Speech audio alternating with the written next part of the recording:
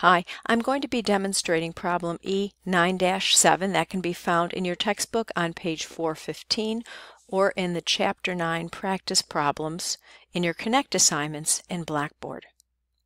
If you have not yet read Chapter 9 in your textbook or watched the interactive presentations for Chapter 9 in Connect, then please stop this demonstration and do so, then come back and view the demonstration. You may also want to go back to Blackboard in the Chapter 9 folder and print out the worksheet that you see in front of you so that you can record the solution for your later use. Okay, let's take a moment to just briefly review what depreciation is. Depreciation is the wearing out or using up of a plant asset, and it's an amount we estimate because it's not always easy to figure out the exact amount uh, that an asset is wearing out, especially when it's a building or a piece of equipment.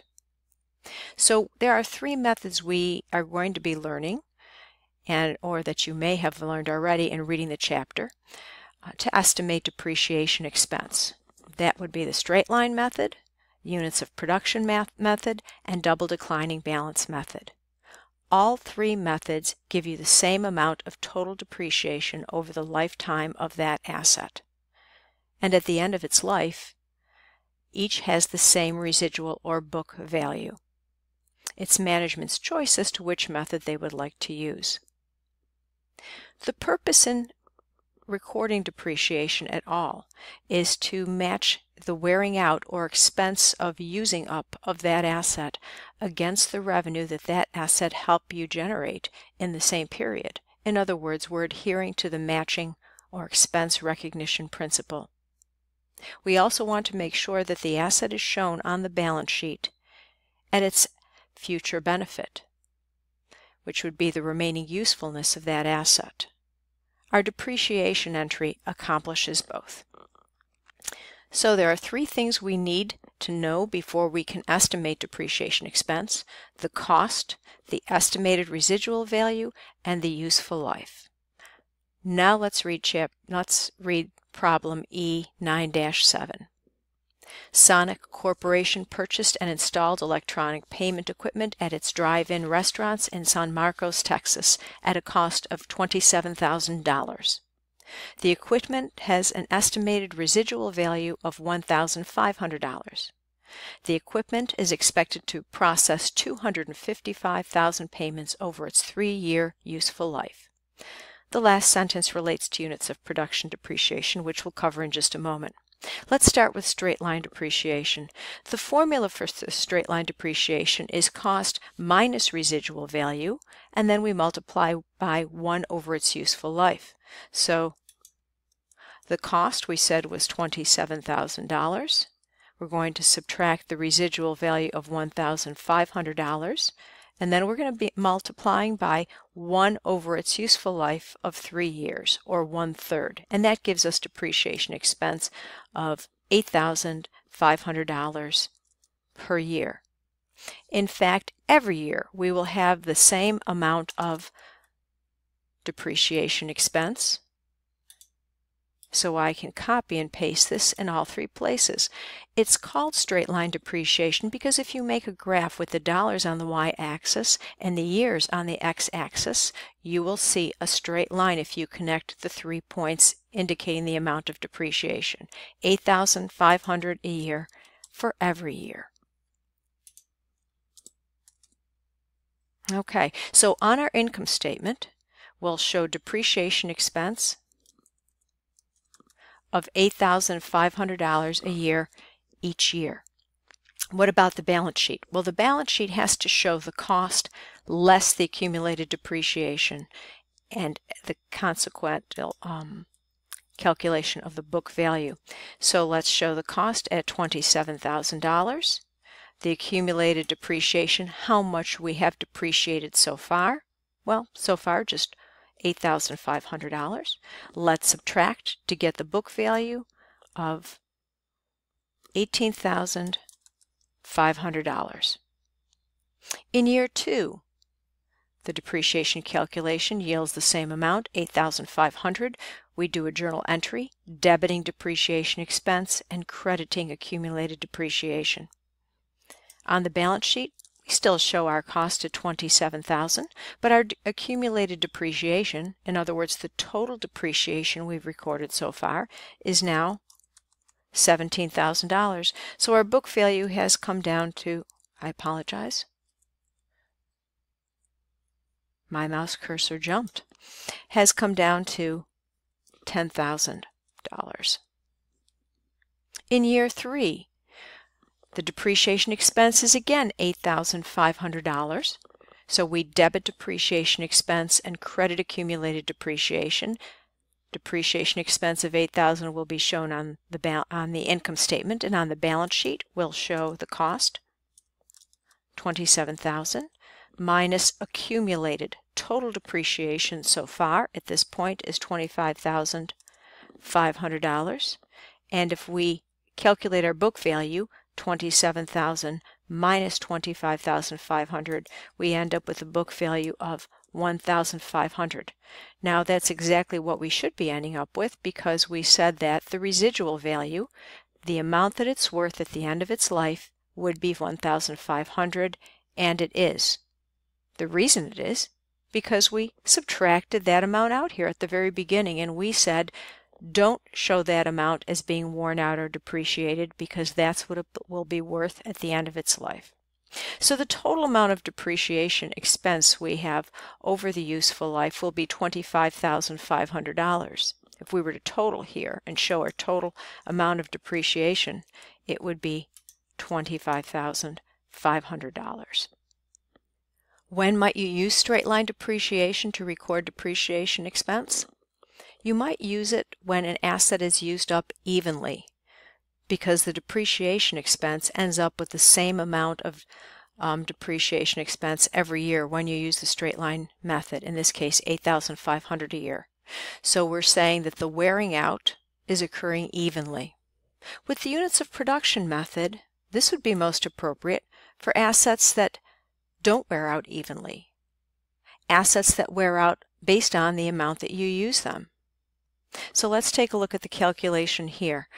Our calculation for units of production is very similar to start with the cost minus the residual value of 1,500, but then we multiply by the amount that that asset is actually used this year and divide by lifetime usage it says per year expected payment transactions are 61,200 in year one.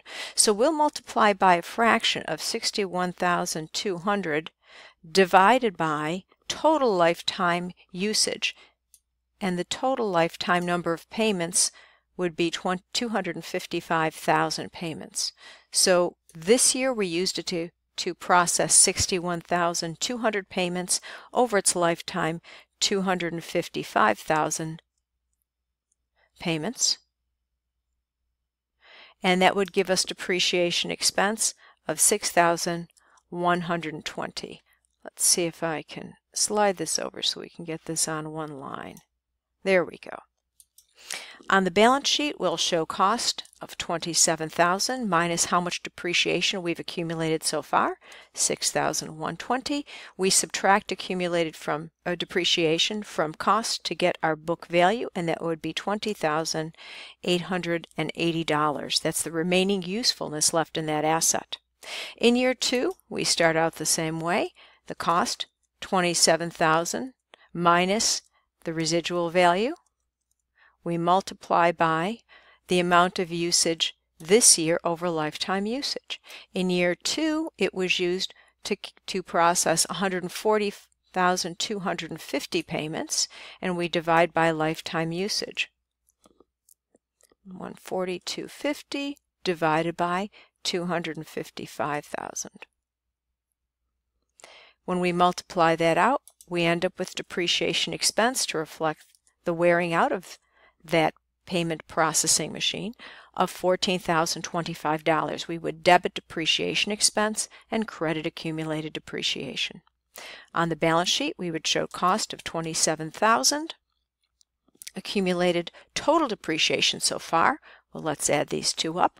That comes to 20,120 $145. Now we subtract accumulated depreciation from cost to get our book value of $6,855. In year three, again, we start out the same way. 27,000 is our cost. Subtract out our residual value, multiply by the number of payments processed in year three, 53,550 divide by lifetime usage of 255,000 and then we get a depreciation expense of 5,355.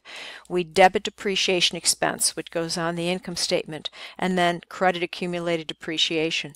On the balance sheet we show cost of 27,000 total accumulated depreciation over its life so far of 25,500 now we subtract the accumulated depreciation from the cost to get book value of $1,500. If we were to total out the total depreciation expense, it would come to $25,500, just as with the straight line depreciation method. Now the only danger in this method is if that asset is lasting you longer than you expected and you use it to process more payments than you planned more than the 255,000, you could over depreciate this asset. So you should either change your estimate, estimate and develop a new fraction or stop depreciating when your usage totals 255,000.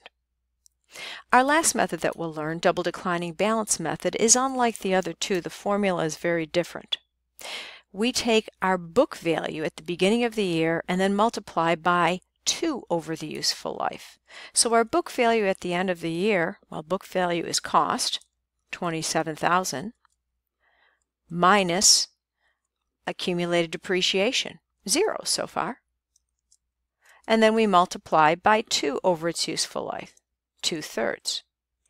That gives us depreciation expense of 18 $1,000.